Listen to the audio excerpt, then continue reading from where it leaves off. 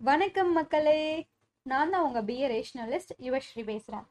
சரி நம்ம பெரியார் கல்வியோட முக்கியத்துவத்தை பத்தி சின்னதா ஒரு விஷயம் சொல்லியிருக்காரு. அது என்னன்னு பார்க்கலாம் வாங்க.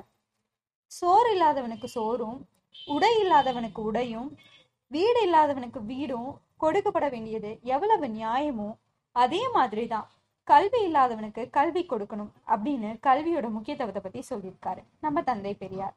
சரி இன்னைக்கான எபிசோட் பார்க்கலாம் வாங்க.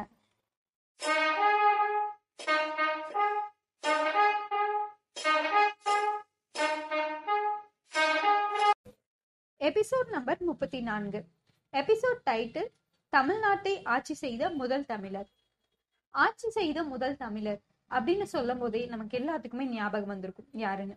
ஆமாங்க காமராஜர் ஐயா தான். இந்த எபிசோட் ஃபுல்லாமே பாத்தீங்கன்னா காமராஜர் ஐயாவை பத்தினதா தான் இருக்க போகுது. சரி வாங்க பார்க்கலாம். இந்தியாவில் ரெண்டாவது பொது தேர்தல் நடக்குது. எப்பன்னு பார்த்தீங்கன்னா ஆயிரத்தி தொள்ளாயிரத்தி ஐம்பத்தி ஏழாம் ஆண்டு. அப்ப திராவிடர் முன்னேற்ற கழகம் மக்கள் கிட்ட ரொம்பவும் செல்வா கூட இருந்து வராங்க.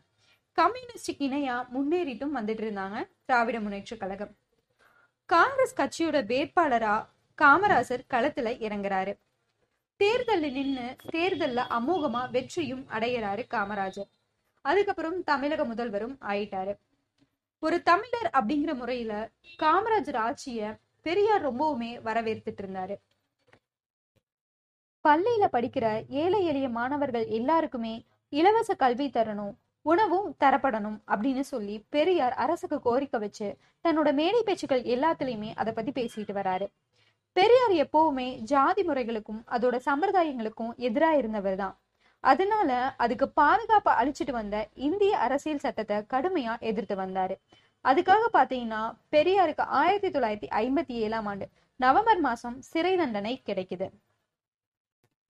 சரி காமராஜரை பத்தி பார்க்கலாம் வாங்க.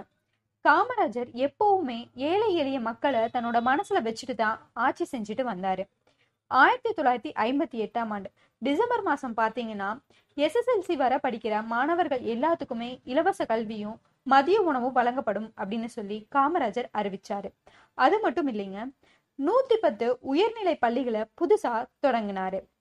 பெரியாரோட கோரிக்கைய காமராஜர் மதிச்சு செயல்பட்டுட்டு வந்தாரு. பெரியார் காமராஜரை தமிழர் நலன் காக்கும் தமிழர் அப்படின்னு தான் பாராட்டிட்டு வந்திருக்காரு. காமராஜரோட கரத்தை வலுப்படுத்தணும் அப்படிங்கிறதுக்காக அவரோட ஆட்சிக்கு பேராதரவு கொடுத்துட்டு வந்தாரு தந்தை பெரியார். தமிழர்களோட முன்னேற்றத்திற்கு உதவும் காமராஜரை ஒரு விடிவள்ளி அப்படின்னு தான் புகழ்ந்துட்டு வந்தாரு. ஆயிரத்தி தொள்ளாயிரத்தி அறுபதாம் ஆண்டு பெரியார் தனி தமிழ்நாடு பிரிவினைய சொல்லிட்டு வந்தாரு. இதுக்காக பாத்தீங்கன்னா தமிழ்நாடு நீங்களா இருந்த தேச படத்தை எரிச்சாரு. இதுக்காக பாத்தீங்கன்னா அரசு பெரியார கைது செஞ்சுச்சு. சரி இன்னைக்கு எபிசோட் அவ்வளவுதான். அடுத்த எபிசோட்ல பாக்குறேன். நன்றி வணக்கம்.